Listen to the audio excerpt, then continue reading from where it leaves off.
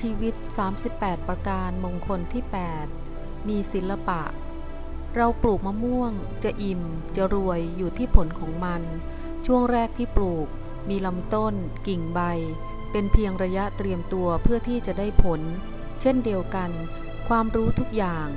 หรือความเป็นพหูสูตรที่เรามีอยู่ เป็นเพียงการเตรียมตัวเท่านั้น จะช่วยเราได้จริงต่อเมื่อเรามีศิลปะ สามารถนำความรู้ที่มีออกมาใช้ได้อย่างดีเท่านั้น ศิลปะแปลว่า การแสดงออกมาให้ปรากฏขึ้นได้อย่างงดงาม น่าพึงชม หมายถึงฉลาดทำคือทำเป็นนั่นเองพหูสูตรนั้นเป็นผู้ฉลาดรู้ เรียนรู้ในหลักวิชา รู้ว่าอะไรเป็นอะไร รู้ว่าอะไรทำอย่างไร ส่วนศิลปะเป็นความสามารถในทางปฏิบัติ คือนำความรู้นั้นมาใช้ให้บังเกิดผล คนที่มีความรู้นั้นไม่ว่า คนที่มีความรู้นั้นไม่ใช่ว่าจะมีศิลปะทุกคน เช่น รู้วิธีหุงข้าวว่าจะต้องเอาข้าวสารใส่หม้อซาวข้าว แล้วใส่น้ำยกขึ้นตั้งไฟ น้ำเดือดสักพักก็รินน้ำข้าวออก ดงให้ระอุอีกสักคู่ ก็คดข้าวออกมากินได้ นี่คือหลักวิชา แต่คนที่รู้เพียงเท่านี้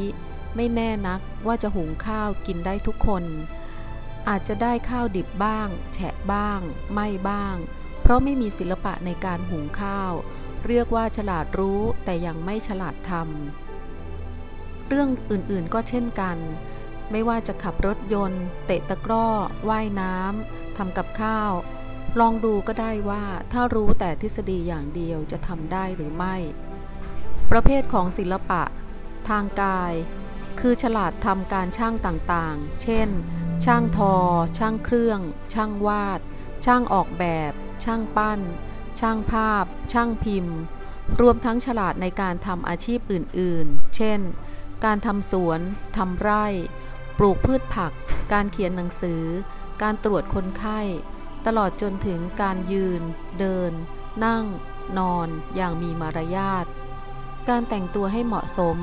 การต้อนรับแขก การแสดงความเคารพ การสำรวมกายก็จัดเป็นศิลปะทั้งสิ้น ทางวาจา คือฉลาดในการพูด มีวาทศิลป์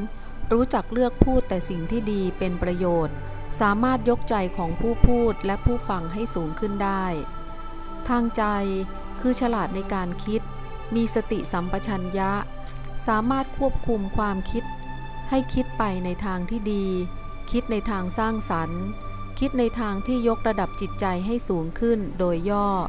ศิลปะจึงหมายถึงคิดเป็น พูดเป็นทำเป็น องค์ประกอบของศิลปะ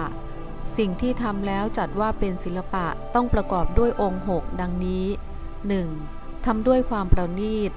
2. ทำให้สิ่งของต่างๆ มีคุณค่าสูงขึ้น 3. ทำแล้วส่งเสริมให้เกิดความคิดสร้างสรรค์ 4. ทำแล้วไม่ทำให้กามกำเริบ 5. ทำแล้วไม่ทำให้ความคิดพยาบาทกำเริบ 6. ทำแล้วไม่ทำให้ความคิดเบียดเบียนกำเริบ คุณสมบัติของผู้สามารถมีศิลปะ 1. ต้องมีศรัทธา มีความเชื่อมั่นในสิ่งที่จะทำว่าเป็นสิ่งดีจริง มีประโยชน์จริง มีใจรักที่จะทำ และตั้งใจมั่นว่าจะต้องทำให้สำเร็จ 2. ต้องไม่เป็นคนขี้โรค รู้จักระวังรักษาสุขภาพของตนเอง 3. ต้องไม่เป็นคนขี้โม้ขี้คุย คนโอ้อวดไม่มีใครอยากสอน